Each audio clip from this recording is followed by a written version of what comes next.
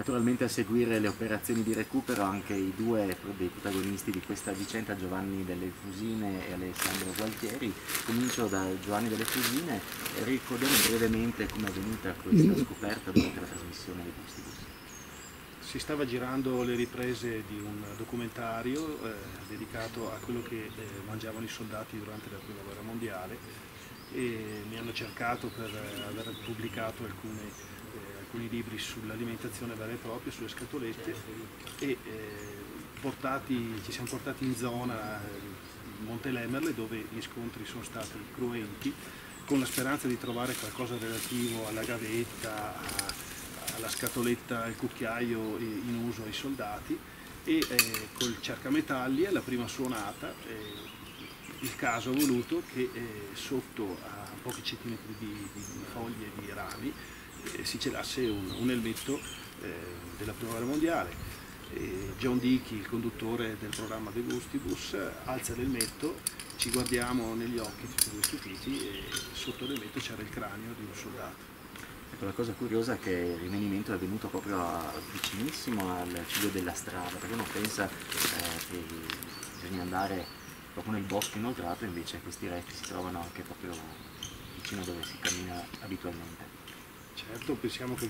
questo posto esattamente dove siamo ora per anni, eh, quando la strada non era in i turisti si portavano per, per il picnic domenicale, per tenere il fresco, quindi probabilmente qui si sono seduti famigliole a, a passare una domenica proprio a fianco al soldato, ma questo può succedere in qualsiasi posto dell'altopiano, in zona di guerra, soldati dimenticati e sparsi, ce ne sono ancora. Alessandro Gualtieri, anche lei esperto, appassionato di Grande Guerra, ha dedicato numerose pubblicazioni anche al sito lagrandeguerra.net, perché ha scelto di finanziare questo recupero?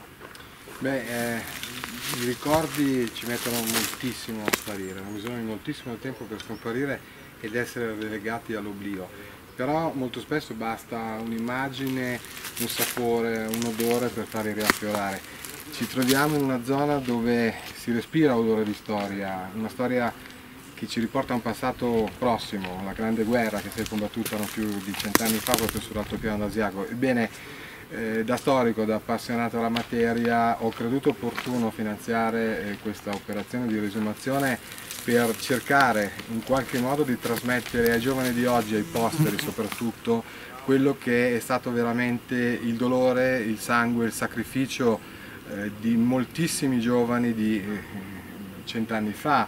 Eh, proprio oggi, soprattutto quando si parla di guerre, di odio fratricida, di odio razziale, di eh, situazioni ancora non ben risolte a livello politico ma chiaramente proprio a livello bellico, come ben sappiamo le guerre purtroppo eh, sono, sono in corso moltissime parti del mondo, ebbene non riuscire a trasmettere ai giovani quello che è veramente un'esperienza così cruenta, così tragica, così drammatica di guerra significa perderci un, non solo un'eredità storica molto importante ma soprattutto la possibilità di capire e comprendere meglio il nostro presente e idealmente affrontare il futuro con eh, diciamo, più cognizione di causa, quindi evitare ulteriori tragedie di questo tipo. Ecco, tra l'altro questo rinvenimento sta avvenendo durante proprio il centenario della Strafe Spedizione, avvenuta nel 1916, perché questo soldato potrebbe essere stato ucciso in quell'occasione, infatti si cerca, ho detto prima, l'auspicio è quello di dare un'identità a questo caduto. Certo, eh, le speranze sono chiaramente come si suol dire gli ultimi a morire, anche se le probabilità effettive di dare un nome a questo caduto sono molto esigue. E di contro verosimilmente possiamo affermare che si tratta di un caduto italiano, l'abbiamo appunto già citato, caduto durante gli ultimi aneliti di quello che è lo slancio bellico della Strafe Spedizione, la spedizione punitiva voluta dagli austriaci nei confronti dell'Italia che all'epoca ha abbandonato la Triplice Alleanza e proprio nelle giornate che vanno dal 10 al 16 di giugno del 1916, eh, esattamente a cent'anni di distanza, proprio dove ci troviamo l'Austria sferra eh, dei violentissimi bombardamenti che verosimilmente vanno ad uccidere chiaramente mh, circa un migliaio di fanti della brigata Forlì che eh, con buona approssimazione è proprio la brigata a cui eh, dovrebbe essere appartenuto il caduto che eh, sta per essere riesumato, che cade appunto eh, quale ultimo baluardo di un'Italia che riesce con un colpo di reni ad arginare e bloccare definitivamente quella che altrimenti sarebbe stata la rottura del fronte italiano, ergo la fine prematura della guerra con la perdita chiaramente della guerra da parte del conflitto da parte del nostro paese. Ecco, poi i resti verranno poi portati all'UL6 per le analisi che cercheranno anche di stabilire come sia morto e poi molto probabilmente verrà sepolto nel sacrario di Asiago.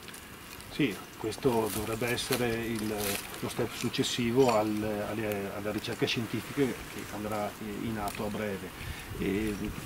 insieme agli altri ignoti, se non si potesse dare un nome anche a questo soldato, insieme agli altri ignoti finirà il corpo eh, all'Aiten di Asiago